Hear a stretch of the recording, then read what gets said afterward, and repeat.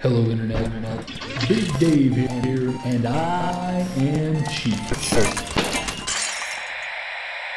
This is Costume Quest from Double Fine. This game normally retails for $15, however, I picked it up during the winter sale for just 3 as you will see on your screen, Costume Quest and Grubbins on Ice, both represented here. Grubbins on Ice is the DLC. As far as I am aware, it came for no extra charge with my PC version. I can't find anything out there to substantiate that, but I didn't pay for it. So that's the assumption that I feel safe in making. Costume Quest is an RPG. It's really reminiscent of games like Earthbound, the sort of game that has an at first kid friendly theme, but is actually intelligent. And I think that's a wonderful thing to do. Just because a game is intended for kids doesn't mean that it has to be dumbed down. Kids are smart. I was smart when I was 12. Kids today are smart as well. So, being that this is a Double Fine game, it is intended for the uh, console platform. Almost forgot what those things were called. The console platform, and that means that the uh, these settings are a little bit sparse. They do have some basic stuff. Double Fine is pretty good about giving that sort of stuff. In fact, uh, I saw that they actually put an FOV slider into stacking because one person requested it on the Steam forums. So that's pretty cool. And I mean, if you didn't already know how cool Double Fine was in the first place, where have you been? So anyway, Costume Quest, the mission at hand. Let's go ahead and get in to this. I'm going to resume my game in progress. And like I was saying, this is uh, at first glance a childish or childlike sort of game. And it is in fact deceptive in its original appearance. It really does have an intellect that is below it. It's not the most complex RPG that I have ever played, certainly, but it has a fun factor and a sort of a smartness to it that you wouldn't necessarily uh, expect. And I think that has led to the game not getting the reception that it damn well deserves. And so I'm doing my little part here to try and bring the awareness up. So, uh, for a little bit of backstory, well, you play as one of two twins, and uh, this fellow behind me, as you can see, is clearly not my twin. He is Everett, a friend that I have picked up along the way. I saved him from bullies. But you play as one of two twins, the boy twin or the girl twin. You pick the one that you want, and the other one is kidnapped by Grubbins. Grubbins are these sort of goblin creatures that are going around on Halloween night and cleaning out all the houses of their candy. That is a nefarious plot indeed, and of course, we, the children, are the only ones who can stop them. So, this is the gate behind which we assume the Grubbins live. We've seen it communicating with some of the Grubbins, and we have communicated with the gate as well. Uh, what we have learned from the gate is that it will not open until this entire neighborhood is cleared of candy, meaning that every house has been tricked or treated. So that's what we're trying to do right now. Why? Because we know that our sister is through this gate. So we got to get there, and we have got to do that by clearing all of the houses. Now, that's a really smart way that this game ends up adding in combat. Instead of having these random encounters that just pop as you walk around the overworld map, they force you to go to these houses each house is then a possible random encounter. You're either going to trick or treat and get candy, or you are going to get combat. So I'm going to try to show you that right now. We're going to start out with the combat. I'm going to trick or treat at this house. Uh, as it is with the international rules of Halloween, if the light is on, the person is there with candy and would like you to knock on their door. If the light is off, don't go to that house because they are either out of candy or they are dicks. So here we go trick or treat. And it is, that may look like at first glance an evil thing, but it is just a dude in a cowboy suit. And I love the fact that when they give you candy, there's that anime motion blur behind your bag as it as it drops in. This game is full of brilliant touches like that. Uh, the dialogue is whip smart, it's witty, it's funny, and this game, I'm telling you, top to bottom, this is a charming game. If you love RPGs, you will absolutely love this, especially if you love old school RPGs or things like Animal Crossing, that sort of stuff, where stuff is a little bit cutesy, but there is an inherent depth below that cutesy exterior. Uh, so let's talk a little bit. I'm going to try to get in combat for you uh, here in a second, but let's talk a little bit about the costumes that I'm wearing. You can see I'm dressed as a robot, and my friend Everett is dressed as a knight. You can change those costumes on the fly. You see, I have access to three costumes. Everett and I can switch costumes. And then I have this Statue of Liberty costume. Statue of Liberty costume I had to construct in order to get into a Halloween party that had a patriotic theme. So I constructed the costume and I got inside. So uh, this costume, I believe, will work for combat, but if you look in the upper right hand corner, you notice that it doesn't have a special icon. The two other costumes both each have uh, some sort of special ability. You can see I can shield us here, and on the other costume, I can actually go fast. And uh, this can be used, as you might imagine, to go over ramps that will allow you to access special secret zones and open these little coffin chests. The coffin chest will often contain candy or maybe parts for costumes you're trying to construct. Uh, right now, I'm not trying to construct any costumes, so uh, mostly I would just get candy out of those chests. Just about anything that you can bash with your bag will give you candy. That includes the mailbox, the fire hydrant, some pumpkins, cars. Well, not cars. Let's see. Cars? No. But you can see there's a friendly, helpful icon when you are near something that might potentially give you candy. There it is. Love it, use it. Candy is currency, so you want to collect every little bit you can. You'll see other kids walking around trick or treating. You can interact with them. There's not going to be much there. Uh, the game will note NPCs of uh, of of uh, of note. Well, I was looking for another word than note, but the game will note NPCs of note. So yeah, where were we? Uh, wonderful, whimsical, lovely combat. Let's try to get into combat here. Let's see if anybody is home. Let's trick or treat. Maybe we will get an evil grubbin. No, we will get a, a wonderful ginger cowboy. Thank you, sir. That amazing background again, and I'll take that candy. So uh, yeah, here we go. We're clearing again. We're clearing the neighborhood. Uh, this might be a good time to stop and show you a little bit about questing. So this is your notebook, and I love the fact that it's a notebook because what what a thing that a kid would have, just like a little spiral bound notebook in their pocket, and they would use that to keep up with all their RPG statistics. So uh, you've got battle stamps. These are our statistics. Simple. You've got HP. You've got uh, AP. Simple. These battle stamps can be used to increase your particular stats. In this case, uh, is wearing the robot costume. The robot costume is more of a DPS costume, and Everett is wearing the knight. The knight is more of a tank, so I give him some extra HP, and I give Reynolds some extra AP. So we have quests. Our overarching quest is this Auburn Pine Suburbs quest, which is trick or treat at all the houses, and then save my sister Wren.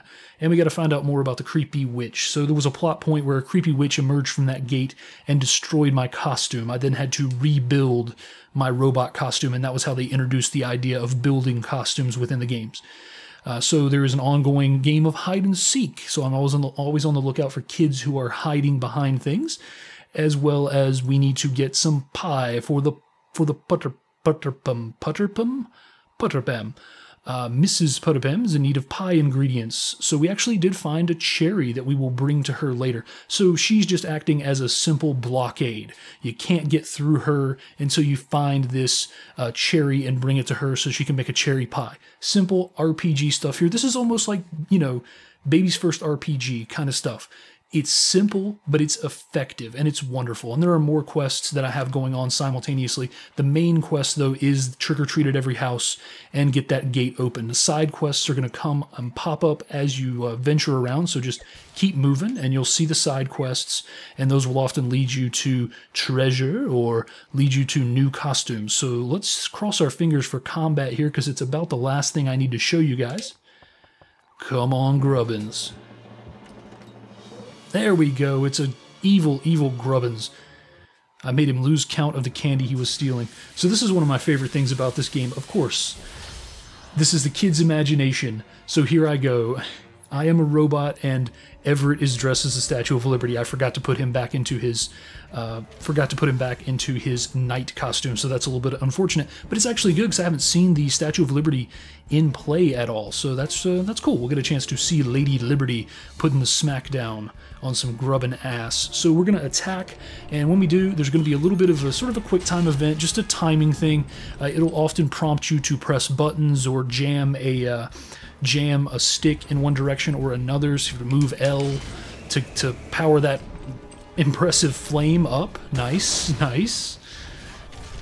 And you'll occasionally get an opportunity like that, a timing-based opportunity to defend. So that was good. Man, Everett is taking a beating. Alright, so let's go ahead and finish off the first Grubbin Warlock. Oh, missed my timing, but that's okay. He is dead. Alright, what can we do here? I love that the national anthem, the anthem is her is her attack. Oh, a little self self status effect there. All right. Ah, you'll notice I have Y, my missile barrage is up. So this is my attack that charges throughout the battle. It doesn't require me to do any uh, QTE trickery, just hit it and kick some ass with it. Gotta love that amazing missile barrage, and it explodes that grubbin into nothing. So I got some XP, I got some candy, and I got a card for my collection. There's a little sort of sub game within the game where you're collecting cards and you can trade them. Uh, but this is another house cleared, another step closer to getting my sister back. This game is ultimately just a wonderful basic RPG. It's got all the elements that you would want to have in a casual sort of RPG, but it's really, really fun. Don't let the simplistic nature of the graphics and the childlike theme fool you. I mean, this game is top to bottom charming, and I've honestly fallen in love with this game, and that is uh, something I don't hesitate to say. It really is a fantastic journey. I'm loving this game so far, and I really, really recommend it. I want you guys to at least check it out. Look for it on sale and try to pick this game up because it is so worth five bucks, 10 bucks. I think it's worth 15 bucks in my personal honest opinion. So let me go ahead and head out of this area. We will play this for a couple more minutes and then send you guys on your way. What have we here? All right, there are more houses I believe I need to trick or treat at. Right, let me get Everett out of that costume. What are we doing here? Okay, Everett into the knight costume. Yeah. So there are more houses we need to trick or treat at, but I'm going to go ahead and progress to the next section of the neighborhood uh, just so I can get a, a, nice look at it, and you'll be able to see me completing a quest here. We'll talk to her. Cherries, this is your ingredient. Did you happen to notice that it's Halloween tonight? We're sorry, Miss Put Put Put Butterbam. This is all we could find on such short notice. Maybe come in, please? Yes, fine. I lost her voice. Yeah, anyway, you get the point. There's dialogue. So here we go, complete a quest, nice, get some XP, and we are moving on. More houses to trick or treat at, and more little quests to do here in the world. These little police boxes serve as a place for you to save your game, so let's go ahead and do that. Right, my report has been logged. I love the fact that your your save point is the police making fun of you for reporting that there are monsters in your neighborhood. It's this game. Part of the reason that this game succeeds is because it never it never makes fun of itself to that extent. You know, it is lighthearted, but it always takes its theme seriously. You know, it, it never takes an opportunity to be cheesy. Uh, it always stays true to its theme, and, and the comedy uh, the lines are right on. Everything is uh, spot on. Uh, everything exists in this world, and you, it's a believable world uh, for you as a player. Oh, missed that ramp. And I think that's part of the reason that I continue to enjoy this game uh, as I play it, and, and the reason that it succeeds is that I'm in the world and I buy it. You know, I buy this world existing as much as I used to buy the Animal Crossing world existing, uh, or even Earthbound uh, or any RPG. You know, if the RPG, if the game takes itself seriously, uh, then you can take it seriously. And when I say takes itself seriously, I don't mean that sort of dour gentleman who has no fun whatsoever. I mean takes itself seriously as in it commits to its theme. And this game does indeed commit to its theme. So uh, I'm kind of hunting around here looking for something cool to do before we sign off of the video. But on the way out the door, I will mention uh, that Double Fine is an amazing studio. If you don't know that uh, from evidence, as evidenced by the Kickstarter, and if you haven't, you need to go and watch all of Tim Schafer's Kickstarter videos that he did for the, for the Kickstarter page because they're hilarious. Uh, you know, Tim Schafer is one of those guys that you just want to know in real life, and you want to be an employee of his because the way that this game came about was right after Brutal Legend 2 was canceled uh, Tim basically said to his guys, hey, let's split up into teams and let's make uh, some games. A couple of weeks, let's do a game jam. And that's what they did a two week long game jam. And what came out of that game jam is Costume Quest, uh, Iron Brigade, formerly Trenched, Stacking, and Sesame Street Once Upon a Monster and he made them all. You know, they put them all out and they all did quite well. I mean, whether they did well monetarily or not is a part uh, separate from the fact that they were all really well critically uh, received and there was a lot of good press about all of those games. But how amazing is that? I mean, what if you were at work and your boss came to you and said, "Hey, for a couple of weeks we're just going to goof off and try to do something really amazing and new." Wow. I would just I would have kittens if my boss came to me and said that. Then again, I wouldn't really know how to do a game jam type scenario at my job, but you get my point. The idea here is that that's one amazing dude, a guy who comes to his folks and says, you know what, we're at a low point. We've just had uh, what we expected to be uh, our next big game canceled. Show me what you got. And what came out of it were four downloadable titles, or I guess technically Once Upon a Monster is a packaged box game, uh, but three downloadable titles and uh, a Kinect game and I'm glad that they exist. I'm glad that Tim Schafer exists, and I'm glad that Double Fine exists. I think this game is worth your time. It's wonderful. It's lovely. It's the sort of thing that there needs to be more of. Every oh, that's a banana guy, peanut butter jelly time. Every game doesn't need to be The Witcher 2. Every game doesn't need to be Final Fantasy 13 X2 squared they don't always have to take themselves seriously. There was a time when Final Fantasy was cutesy characters in a cutesy world. I mean, the Moogle guys, the little white cherub guys, and the freaking chocobos. I mean, think about what that's that series used to be. It used to be what this game is right now. And we need a lot more of this. Every single thing in this world doesn't need to be serious 24 7. A game like this has a wonderful place in this world, and I'm glad that I have gotten a chance to found you. I'm glad that I've got the chance to actually take this game in and appreciate it for what it is. I'm going to play this game to completion with a smile on my face. All right, guys, I have been Big Dave. I hope this has been enough of an introduction to Costume Quest for you to actually think about purchasing it. Uh, games like this make me wish I had sort of a Jeff Gerstmann or a Vinny Caravella or you know a Patrick Klepek. I need somebody here like Quick Look style who I can have a dialogue with because I'm having a great dialogue with you guys, but I don't have any feedback on your side. You know, I need somebody to act as the uninformed everyman. So uh, if you'd like to relocate to North Carolina, where we just made gay marriage double illegal, and sit in a small room with me while I ask you questions and you ask me questions about video games, please send your resume to yada yada yada. Alright, guys, I have been Big Dave, and as always, take it easy.